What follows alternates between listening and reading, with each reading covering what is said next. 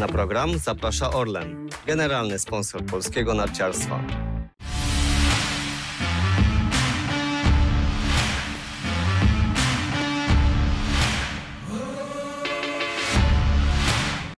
Dojazd ekipy skijumping.pl na wszystkie skocznie świata zapewnia Real Logistics, partner logistyczny serwisu.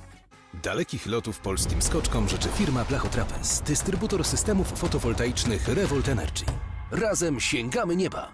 W takich e, zabawach, w takich dniach chodzi o to, żeby oderwać myśli od tego, co może się wydarzyć, co się wydarzy, jak pójdzie bardzo dobrze, co się wydarzy, jak pójdzie bardzo źle. Takie myślenie niestety jest męczące.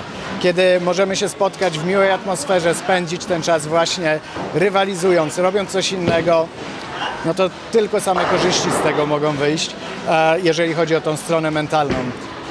To nie muszą być kręgle oczywiście, ale kręgle stanowią taki e, element rywalizacji, w którym każdy jakoś sobie radzi. Nie jest to sport wymagający jakiejś wielkiej filozofii E, i tak jak widzimy, można zepsuć tor, można nie trafić kilku uderzeń z rzędu, jest powód do śmiechu, jest powód do dobrej zabawy. A fakt, przepraszam, tylko jeszcze jedna e, rzecz. Fakt, że jesteśmy tutaj jakby wszyscy, tak? Czyli cała reprezentacja, cały sztab, jako cała grupa, tak? No bo my często patrząc, czy kibice patrząc, to widzą tylko skoczków, a to, że jesteście tutaj jako wszyscy i wszyscy się trochę luzujecie, to też ma chyba znaczenie, że e, właśnie jesteście taką szeroką grupą. Jak najbardziej. Żyjemy w jednej takiej sportowej rodzinie, przez te, dużo tego czasu ze sobą spędzamy. Więc istotne jest, żeby te relacje między członkami sztabu, między członkami e, też sztabu technicznego były jak na najlepszym poziomie.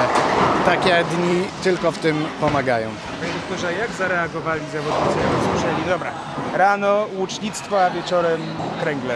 Łucznictwo z tego co kojarzę to było w Willingen. A dzisiaj łucznictwo czy strzelectwo było? Nie, nie, to było, to było wideo z Willingen, które tam weszło. Tak, to, to, dzisiaj był poranek wolny, miał, miała być wycieczka dookoła jeziora, e, ale ze względu na pogodę odwołaliśmy tę wycieczkę, więc zawodnicy spędzali ten czas na regeneracji, a wieczorem gramy w kręgle, jak widać, z różnym powodzeniem.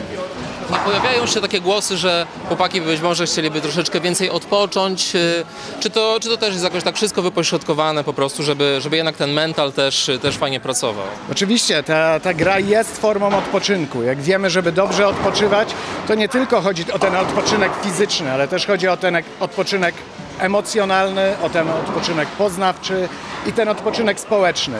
Taka gra jest okazją do napełnienia tych trzech, czterech zbiorników odpoczynku e, na pewno. Czy fizycznie to się okaże, ale, ale na pewno społecznie, na pewno emocjonalnie i na pewno tak można rozluźnić tą głowę właśnie dzięki takiej grze.